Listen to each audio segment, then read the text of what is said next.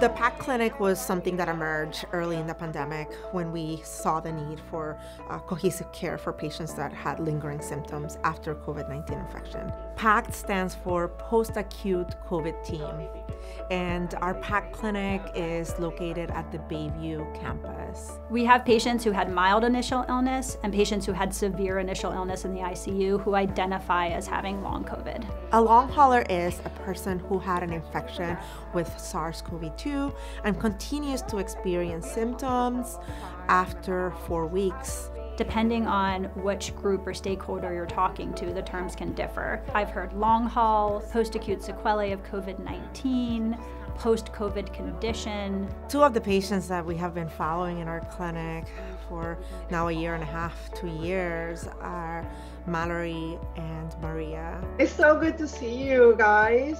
Good to see you patients that have suffered from COVID 19, they could be severe acute illness or something that was weathered at home.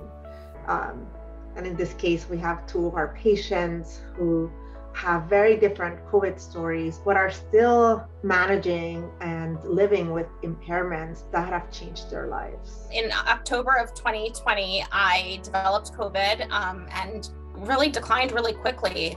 Um, eventually, I was ventilated and placed on ECMO at Hopkins. You know, with the help of the team at Hopkins and kind of my stubbornness, I was able to come home last March, so almost exactly a year ago. Um, and now I'm dealing with um, just some after effects, a lot of fatigue, um, brain fog. Um, just started pulmonary rehab to try to strengthen my lung capacity. So I haven't been able to work as a medical provider in over a year. I was never hospitalized. I um, never had pneumonia. I contracted um, COVID 19 in December, on December 5th, 2020, from my two year old daughter. I had what is considered in the medical community a mild case. But for me, ultimately, my nervous system was damaged. Um, you know, you guys have really stuck by us and fought for us. And that is a really wonderful blessing for us.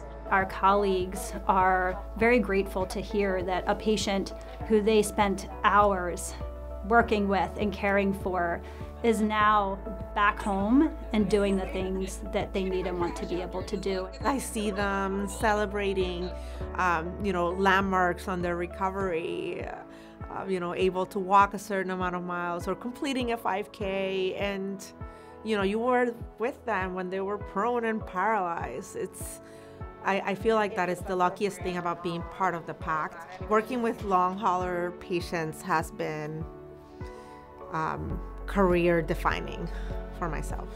It's kind of like what I signed up to my first course in medical school, you know, to really help patients return to life and return to living life at their fullest, no matter what impairments they have.